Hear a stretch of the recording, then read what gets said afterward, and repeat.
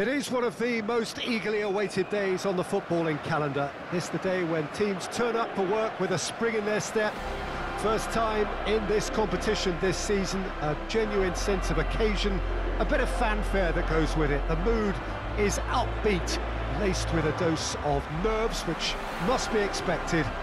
The team news is in, the teams themselves will be with us short. Imperative for everyone, three points on opening day. Well, Peter, I can tell you that both managers will have stressed the need for a very strong start here.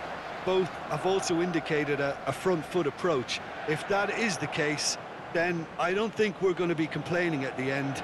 I certainly hope we'll be eulogising. There's an awful lot resting on this, and we'll probably end up reflecting on that.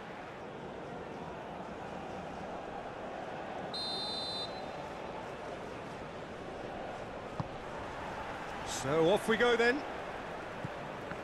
So Jim, tell me this, who are you looking for in particular here? Yeah, Leroy Sané, he's one of the most fleet-footed players around, Peter, and a massive threat with the ball at his feet.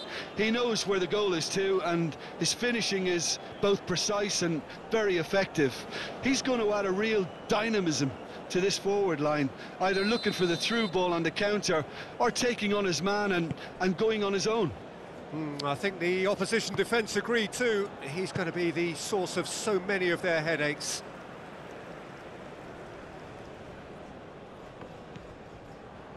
Gnabry. Now it's Wirtz. Well timed, excellent interception. Armstrong. Tierney has got himself a free kick.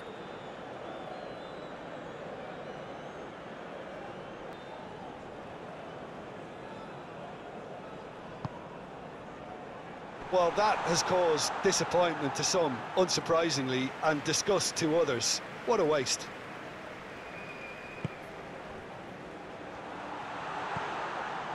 There's the hit! Goal, Scotland!